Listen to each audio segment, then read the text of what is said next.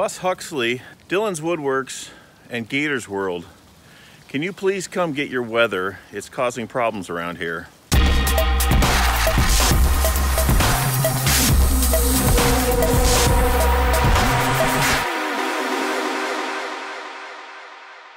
Well, about a week ago, it started snowing out here in Estacada, and uh, we've had over 12 inches over the past week, and not a lot of it's melted off yet.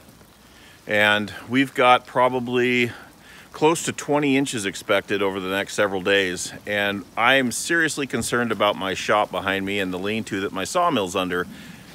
I don't think that it's gonna hold up to it. I'm honestly afraid that this thing could collapse and wipe out my sawmill, my side-by-side -side that's inside the shop.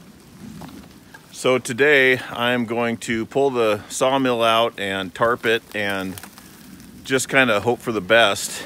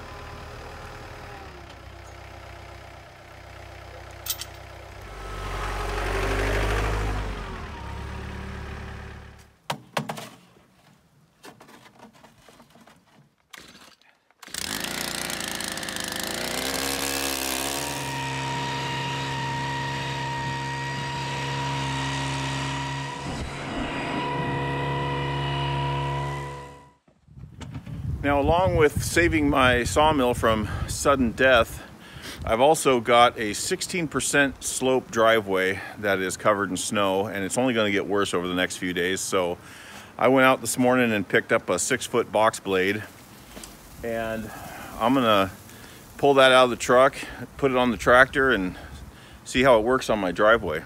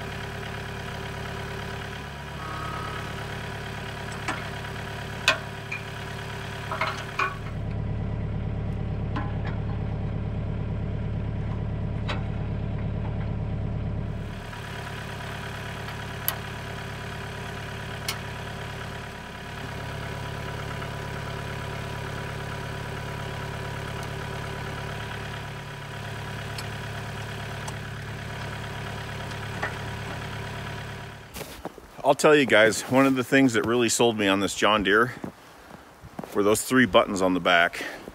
It's called an eye hitch and it allows you to move the tractor forward and backward. The knob on top allows you to raise and lower your drawbars and it makes hooking up implements by yourself a breeze.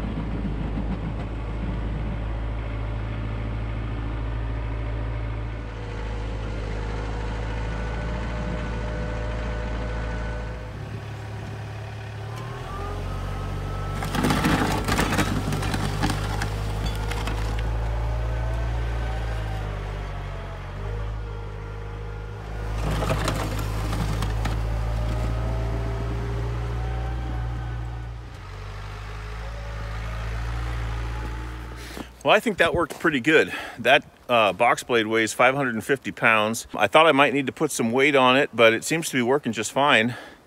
It's not tearing up the driveway and uh, it's just leaving, it's just skimming right over the top of the rock. Uh, you can, you really can't even tell it snowed here, can you?